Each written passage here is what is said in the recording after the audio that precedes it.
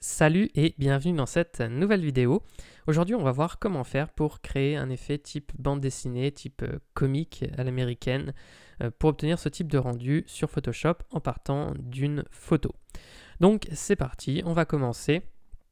Euh, je vais ouvrir donc l'image de mon choix dans Photoshop.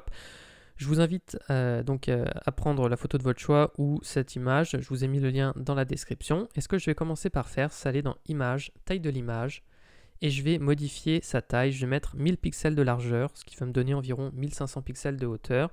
Je réduis la taille de l'image tout simplement parce que je vais mettre des valeurs en pixels dessus et euh, si je travaille sur une image trop grande, ça ne me donnera pas forcément un bon résultat. Donc voilà pourquoi je vais travailler sur une image de cette taille.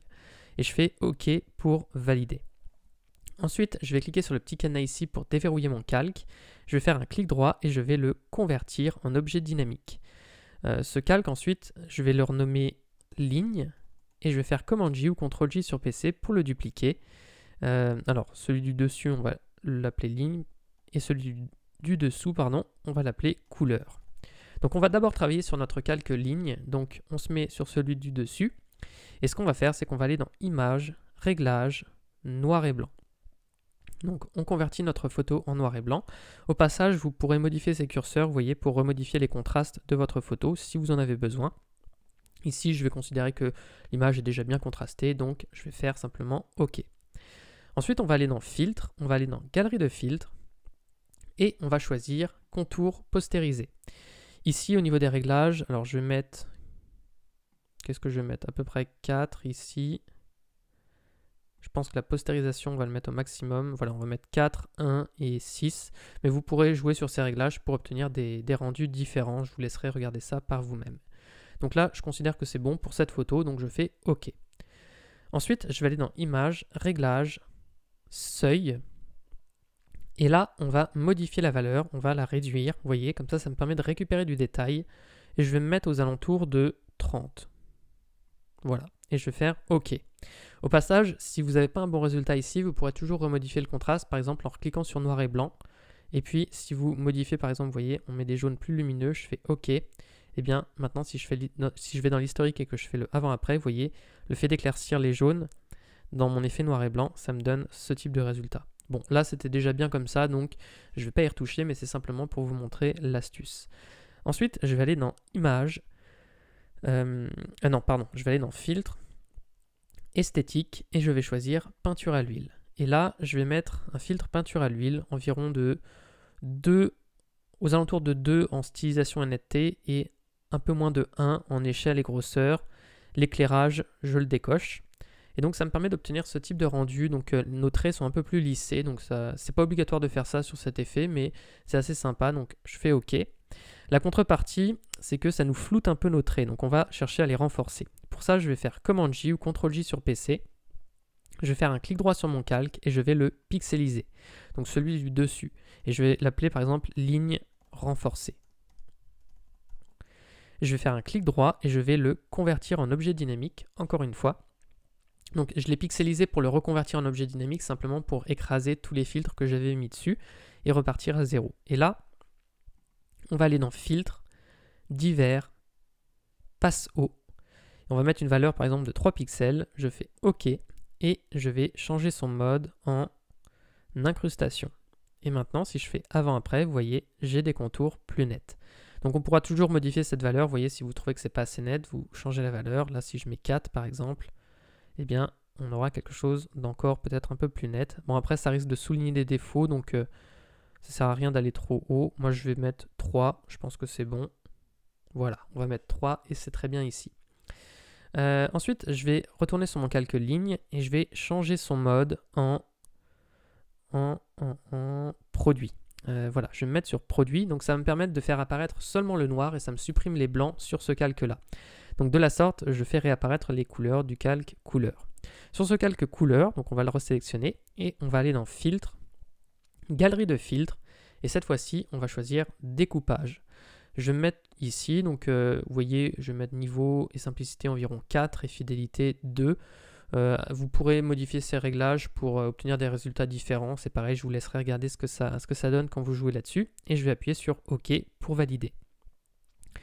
Euh, donc, ce que je vais faire, c'est que je vais également remettre un petit coup de peinture à l'huile. Donc je vais dans filtre peinture à l'huile. Et là je vais mettre des valeurs un peu plus élevées sur les couleurs, mais ça me permet de flouter un petit peu les jonctions entre les différentes couleurs. Et je vais faire OK pour valider.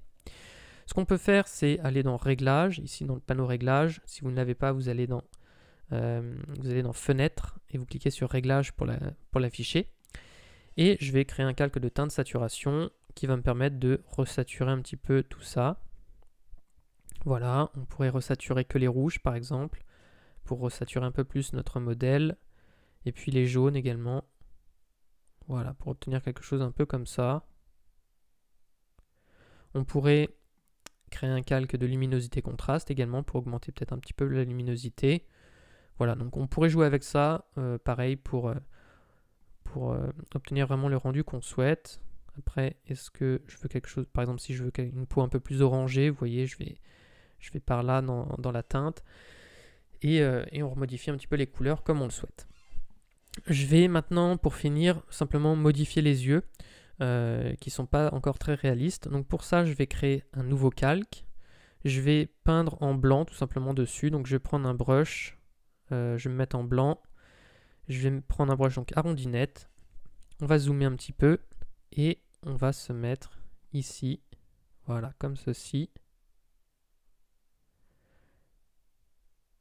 Hop là. Alors si, si vous débordez, vous appuyez sur X pour intervertir les couleurs. Et ah non, non pardon, euh, il faudra prendre la gomme. Euh, je ne suis pas sur un masque de fusion, donc on prend la gomme et on gomme, voilà, comme ceci. Là, ça m'a l'air bon. Et je vais faire le deuxième. Donc je reprends le pinceau B. Euh, il faut que je me mette en blanc, évidemment. Et voilà. simplement, donc là, le blanc est un peu trop marqué. Donc on va baisser son opacité. On va mettre par exemple aux alentours de 50%, donc ça dépendra de vos photos, mais voilà, on va se mettre à peu près aux alentours de cette valeur. Ça me, paraît, ça me paraît bien. Je vais changer la couleur des yeux. Alors pour ça, là je ne vais pas créer un calque, je vais créer un calque de couleur unie en fait. Donc pas un calque simple, mais un calque de couleur unie. On va dire qu'on veut des yeux bleus, donc on va prendre du bleu par là, ou du cyan à peu près. Je fais OK.